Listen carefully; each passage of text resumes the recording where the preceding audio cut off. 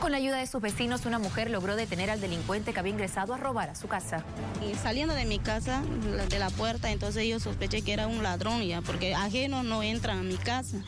Yo sé quién trabaja en mi casa, no es albañil, lo conozco, es conocido. Entonces yo directamente le dije, es ladrón, ladrón. A mi papá le dije, acelera papi, es ladrón, está escapando ya en moto, le dije, porque ya estaba encima del moto.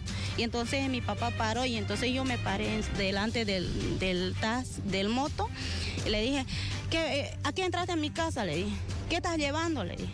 Ya directamente yo sospeché que, estaba llevando las cosas, ¿no? Y entonces, sáquelo, y lo saqué y lo boté aquí, lo, su taladro y la amuladora. Por biguetero, se hizo pasar por biguetero. Voy a medir este para bigueta.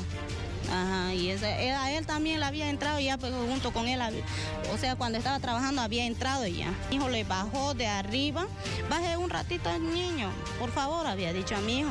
Entonces mi hijo inocente bajará, pues no. Y entonces el otro empezó a cargar arriba, pues sus cosas, sus herramientas.